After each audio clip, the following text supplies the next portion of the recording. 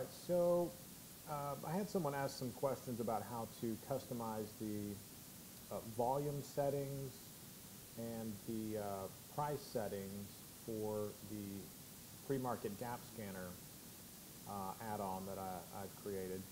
So instead of uh, custom programming a, a, you know one that meets uh, everybody's parameters, I thought maybe it would be um, ideal if I just go ahead and do a tutorial video real quick to show everyone how to customize their their own parameters in the scanner in case you know in the future they you know they want to have uh, the ability to change that uh, at any point. So what we're going to do uh, in your Thinkorswim installation, you go to the Scan tab and make sure Stock Hacker is selected here. Go to basically to the scanner where you would use the uh, pre-market scanner. We're going to for instance here, we're going to load the uh, all pre-market gap scan. That should be part of the package you purchased. And um, so if you make any changes here, so see we can change this to be like, to look for stocks that are a minimum of $5 and currently it's set to a maximum of $200. So we can change this to whatever values we want.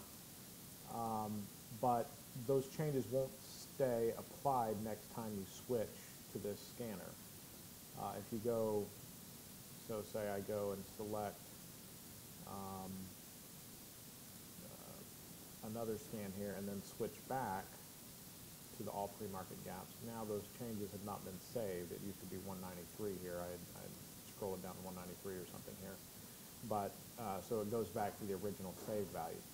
So if you want your any changes that you make to this scan to be uh, permanent and to stay uh, every time that you load it, you're going to go to this little menu right here in the corner, click Load Scan Query, then down to Edit, and then choose the same one from the list. So, and then it's going to pop up a window with all these same parameters that you had in the main window, but this will be, this will allow you to make changes and then click Save down here to uh, to make those changes permanent. So what I'm going to do here, just for instance, I'm going to make this um, a minimum of 50 cents and a maximum of $6. I'm going to say the volume minimum is 200,000. Um, actually, I'm going to take that out. I'm going to say no minimum on volume, maximum volume kind of, I guess the, it has to be 100 million. And then uh, instead of putting a volume minimum here, I'm going to put an average volume. So this particular rule set right here, this line, says it makes sure that the average volume is significant, and I've defined that as the average volume is greater than or equal to 500,000. So over the past uh, X number of days, uh, it has had a average volume, average daily volume of at least 500,000. So I'm going to click in here, and uh, so volume average um, for the last 50 days is what is the default here. And I have 500,000 programmed in here, but I'm going to change that to 200,000. Click Save click OK, and so now you can see that the volume average is greater than or equal to uh, 200,000. And then, um, and so you see that I've, I'm going to be scanning for stocks that are at least 50 cents, less than $6. Uh, no volume requirement here because this is checking, like if I run this first thing in the morning, there may not have been any volume run, uh, this morning yet at all. And, you know, if the market, the pre-market hasn't started yet, or if it just hasn't done any volume in the pre-market yet, then it might not have any, uh, any volume to display here, but it could still be gapping down due to the aftermarket from last afternoon or something like that. So I'm going to leave that at zero so it'll pull all stocks, but it will qualify that by making sure that the average volume is at least 200,000. So it's, you know, it's not going to be a junk stock or whatever. And then I would just click save here. I'm going to hit cancel just because I don't want to change my own setup here.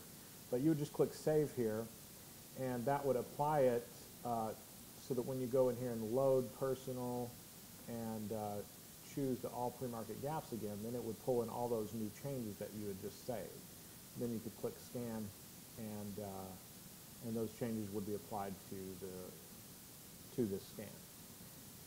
So uh, I hope that answers uh, uh, any questions you might have had about how to um, customize this.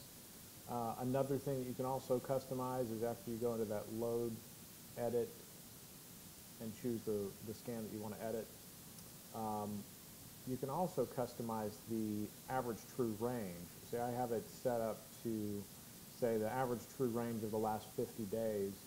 I want that to be greater than or equal to 50 cents. So I want a, a stock that typically has a daily range of at least 50 cents. Um, but that can be customized to whatever you want because everybody has a different style of trading. So that's, uh, that's how you would customize that line as well. Uh, this is the main one that you're not going to want to edit anything, and this is where the um, uh, this particular line item is where the logic that helps find the pre-market gaps uh, reside. So you don't want to mess with that too much unless you want to, uh, unless you know what you're doing as far as uh, with ThinkScript and everything. So anyway, I hope that helps. Uh, let me know if you have any questions. I appreciate it.